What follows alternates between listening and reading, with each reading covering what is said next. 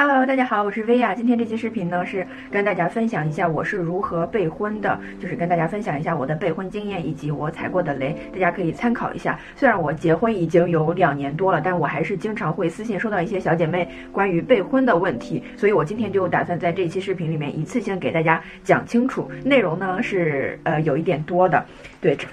哦，我的电脑差点掉。我怕我自己会呃有哪些点漏掉或忘记，所以我把我自己要说的都做成一个 Word 文档了，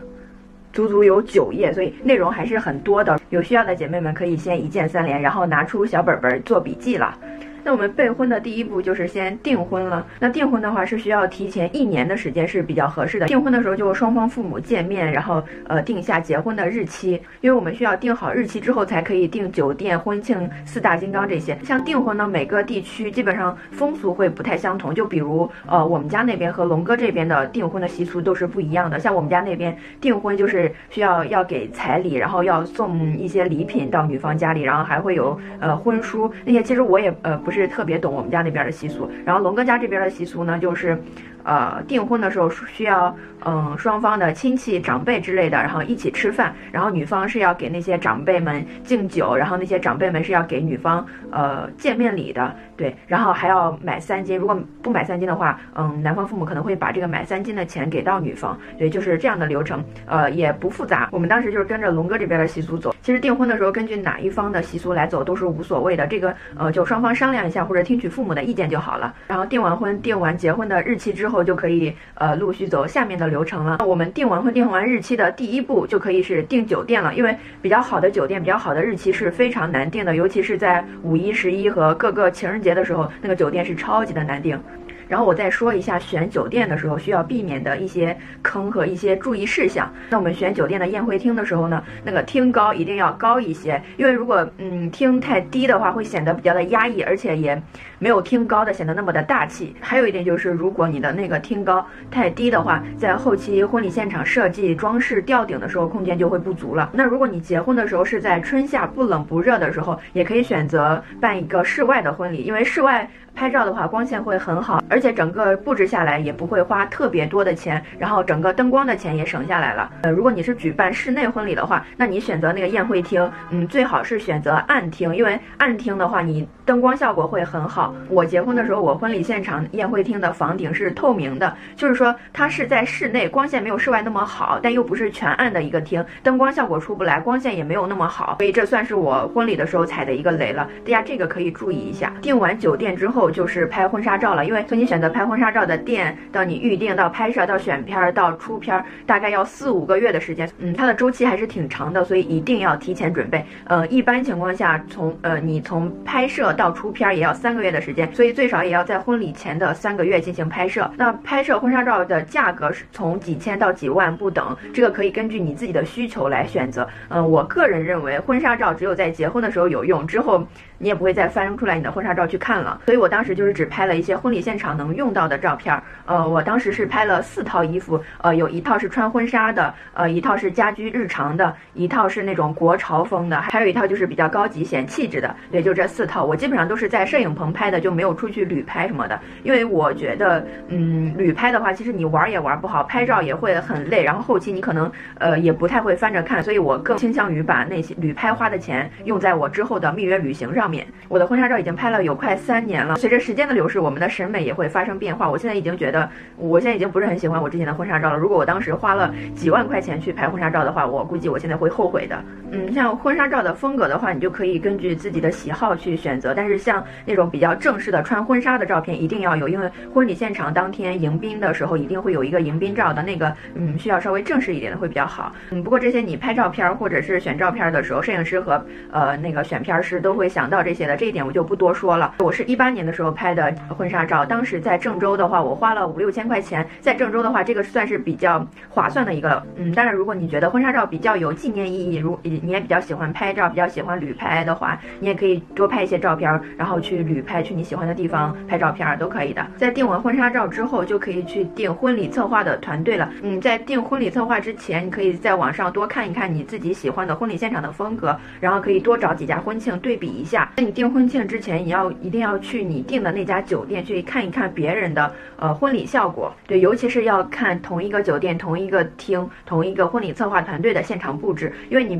只看视频或者是照片的话，其实跟现场的效果不太一样的，因为视频和照片都是美化过了的，像婚礼策划给你的效果图，呃，更是什么都看不出来，所以呃一定要去现场去看一下它的那个效果，你是不是喜欢？还有重要的一点就是，如果你预算不是特别高的话，一定不要现场全部都用真花。我结婚的时候就是全场用用的都是真花，呃，钱没少花，但是效果可能真的不如真花和假花搭配来的效果好。同样的预算的话，真假花搭配可能效果还会更好一些。呃，我们订婚酒店、婚纱照、婚礼策划都沟通完成之后，就可以呃开始预定四大金刚了，就是我刚刚所说的摄影、摄像、化妆师和主持人。当四大金刚的话，你就可以让婚庆公司给你推荐一些，一般他们都会有呃合作的那些团队，呃一起订的话都会有一些优惠，而且他们的默契度会更高一点，所以在你婚礼的时候，他们互相配合的也会更好一点。而且一般他们合作的也不止一家，你选择摄影、摄像的时候，就可以让他们多给你推。荐几家，然后呃可以看一看哪家的风格更符合你的审美，看一看哪一家的性价比更高。我结婚时候的四大金刚用的全部都是呃婚礼策划团队给我推荐的。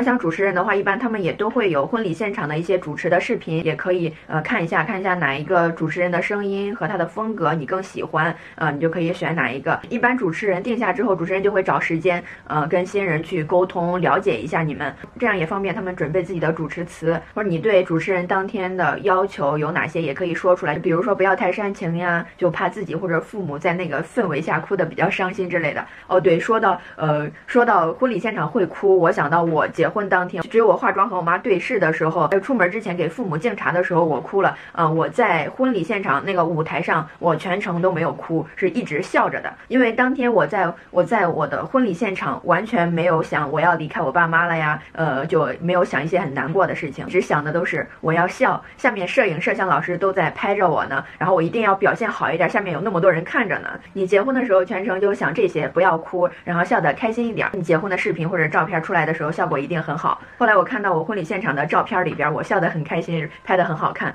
倒是龙哥在我旁边一直哭，就像是他要离开家嫁给了我一样。嗯，婚纱的话，我觉得结婚是可以租婚纱的。如果你不介意别人穿过那个婚纱的话，是可以租的。因为我觉得买一个不错的婚纱还挺贵的。然后买完之后，你只有婚礼的当天穿一次，嗯，后面就不会再有机会穿它了。嗯，而且婚纱又大，嗯，不好收纳，而且也不好打理。你们夫妻吵架的时候，第一个遭殃的可能就是婚纱。然后便宜的婚纱可能出来的效果也不太好，所以我觉得租婚纱还是挺划算的。而且你结婚当天也不只穿一套婚纱。还有晨袍呀、绣荷呀、敬酒服呀，嗯，就有四套衣服呢。都买的话，呃，真的呃很麻烦，而且很费钱。像跟妆的话，我觉得可以跟这些服装呃订同一家的，嗯，因为这样会比较省事。化妆师去给你化妆的时候，他就直接把衣服都带上了，嗯，这样婚礼当天化妆师也好帮忙给你整理你的婚纱和礼服。如果不是同一家的话，你租婚纱的那家可能不会专门去人给你呃整理衣服、整理婚纱之类的。然后化妆师也可能只做好自己分内的事，不会去管理你的服装。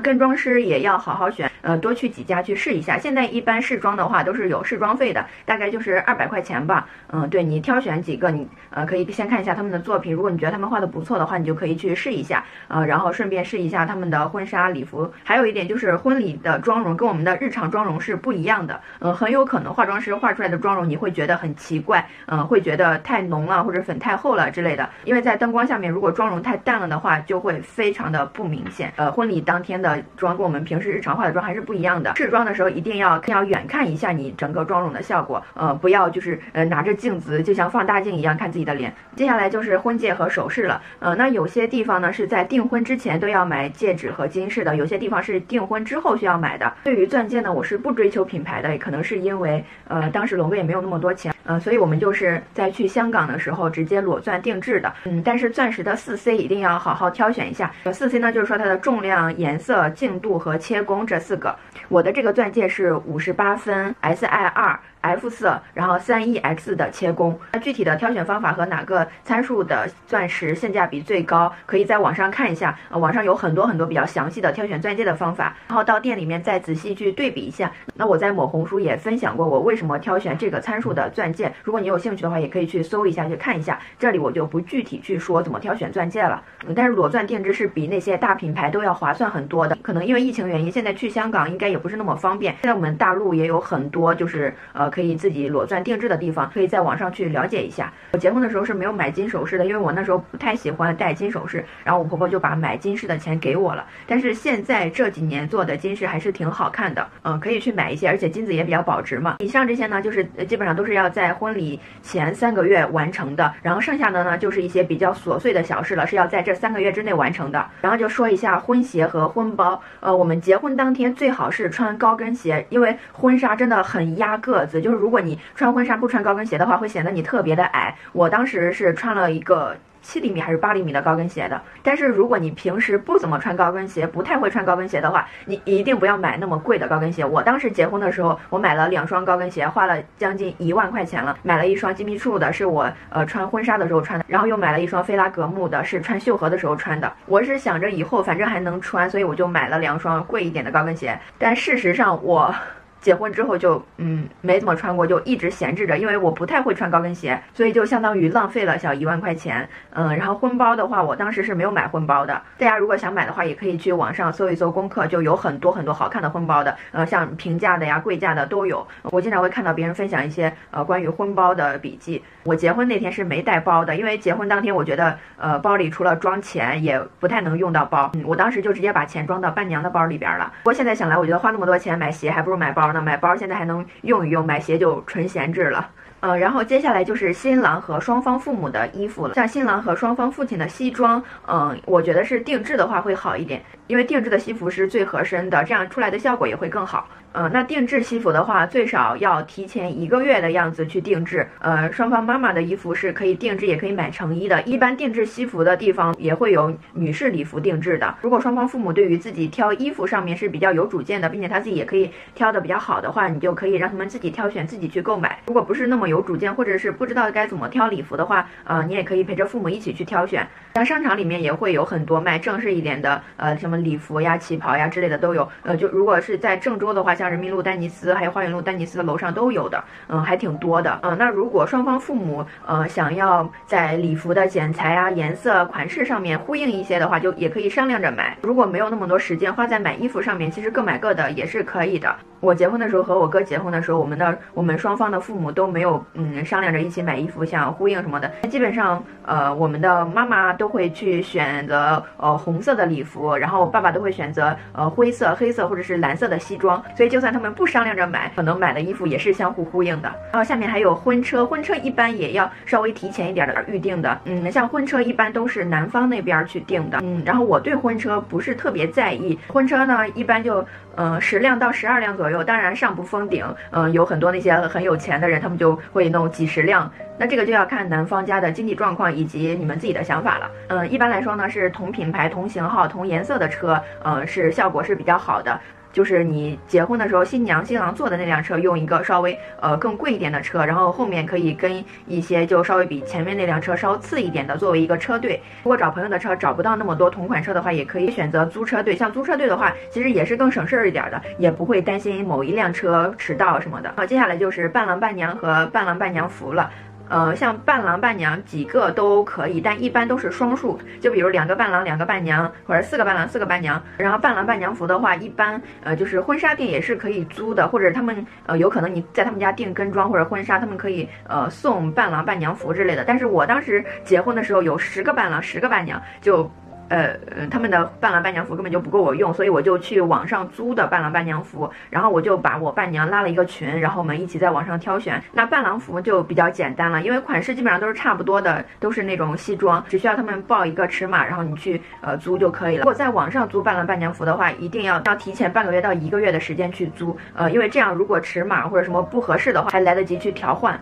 然后就是伴手礼和喜糖盒了。我结婚的时候，伴手礼我的预算是两千到三千块钱，但是我有十个伴娘嘛，所以呃分摊到每个伴娘身上，也就是两百到三百的预算了。然后我就选了一个比较漂亮的礼盒，然后还有嗯比较嗯精致但价格又没有那么高的生活好物。然后我们当时不是有早晨起床会有晨袍照片嘛，然后伴娘穿的晨袍都是我买的，自己穿了个大红色的，然后给我的伴娘给他们选了一个呃香槟粉色的。晨袍，对这些晨袍也当做伴手礼送给他们了，刚好当天拍照的时候也可以用嘛。然后也可以再放一些你喜你平时比较爱用、比较喜欢的东西送给他们。网上也有卖那些搭配好的伴手礼的，你也可以直接整套的买，然后嗯，这样就呃省下你挑选礼物的时间了。但是我个人认为自己一样一样的挑选会嗯。更加用心一些。喜糖盒的话，呃，网上有很多很多款式，你可以选几个你觉得比较好看的，呃，然后让他们给你发过来，你对比一下，然后选一个呃你最喜欢的就可以了。我结婚的时候，当时是给年轻人那些精致的喜糖盒，